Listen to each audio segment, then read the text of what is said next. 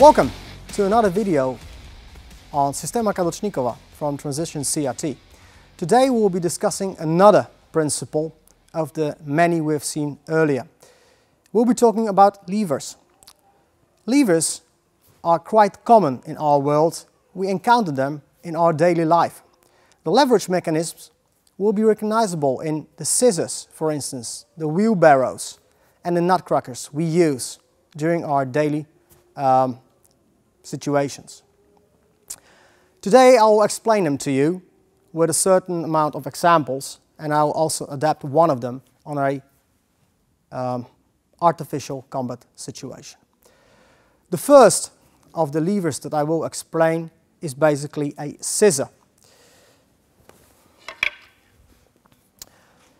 When considering a scissor, we will have a turning point in the center. Two rigid bodies, both here on the long extents, and by adopting force on the far extents of those two rigid bodies, we'll be able to generate a certain amount of force at the short extent of, in this case, those two sticks replicating a scissor. Same goes for a nutcracker. The turning point is located at the far tip of those two sticks.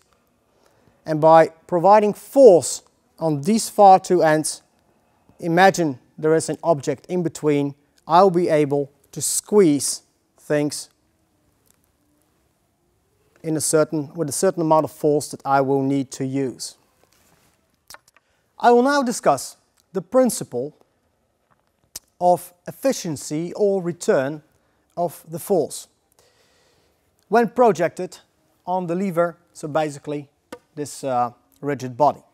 The principle is that the amount of force projected on one of the sides will match or be equal to the amount of force returning on the other side. There will be some distinctions though. If we manipulate the lever by creating a short extent on this side and a long far extent on this side, I will be able, when projecting force, to create high speed on this side with a minimal application of force in order to lift an object or a certain amount of mass on the short side, like this. On the other hand, if I will change the situation now and manipulate the lever one more time again, the situation will be a little bit different. Now I will have to project a big amount of force on the short side in order to be able to move the object on the far side or the long side of the lever. The return though will be a higher speed on the long end and a, and a slow speed with a lot of amount of force on the short end like this. When you stand here in front. So one more time again. The rigid body is the arm of Alex. The object that I would like to move basically is Alex himself.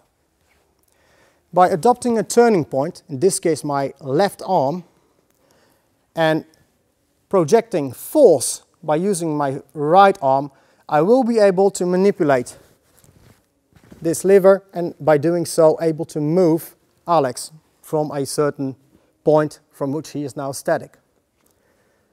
By slowly adopting force and turning, I'm able to actually move him towards the ground. Same goes in a situation if I will keep my arm located to the bottom or to the ground. Same goes here. My arm, my left arm, is the turning point. My right arm it projects force on the lever and by turning like this I'm able to move Alex towards the ground again. Another last addition, without even using the arm, I could use my shoulder or a certain part of my body to create that turning point. For instance, using my shoulder and projecting the force one more time again with my right arm I will be able to move Alex by controlling and manipulating his arm, which is actually the lever. Here it goes.